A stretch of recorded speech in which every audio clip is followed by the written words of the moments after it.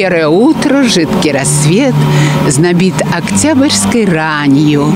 Давно это было, родился поэт в глухом селе под Рязанью. 3 октября в Рязани отметили 123-ю годовщину со дня рождения Сергея Есенина. Он признан самым издаваемым поэтом мира. Его стихи переведены на все языки. Рязанский хулиган запомнился чувственными строчками и правдивостью повествования. С Есениным связана, можно сказать, вся жизнь с детства. У меня э, родственники по линии мамы, они из Рыбновского района, село Житово.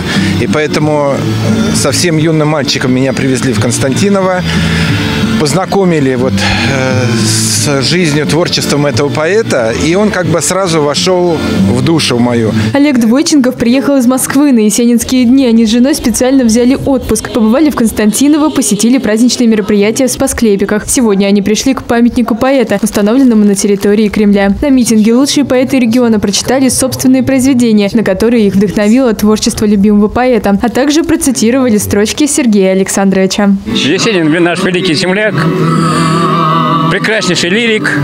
Его стихи буквально наводят на раздумья о судьбах нашей Родины, Одного я не пойму, куда несет нас рок событий. А у меня была подруга, с которой мы вместе открывали на обум сборник и читали друг другу стихи. Но это было в 60-е годы. Так выразить чувства свои, как он, это не каждый поэт может. Так что Есенина люблю и помню. Конечно, Конечно знаем. Мы их проходили в школьной программе, также и внешкольной. То есть просто... Ездили в Константиново на родину Есенина. Да, там было много всего. Ну, вот мне очень нравится нравится Есенин как поэт. У него очень хорошие стихи. Он пишет и о животных, и о людях. Традиционным стало и возложение цветов. Виктор Жерехов живет в Калининградской области. В Рязань он вернулся специально к дню рождения любимого поэта. У меня два сборника дома.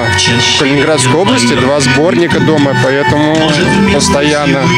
И два, два сына, и им рассказываю. Вот святое. Часто вспоминаем. Многое приходится и в жизни приходится опираться опираться на. Так что Есенин есть Есенин. Проверить свои знания, творчество и биографии поэта может каждый желающий. Гостей ждут в библиотеке имени Горького 6 октября в 11 часов на Есенинский диктант. Для каждой возрастной группы будет свой текст задания. Ответы опубликуют 8 октября. Галина Кудряшова, Станислав Кудряшов, телекомпания «Город».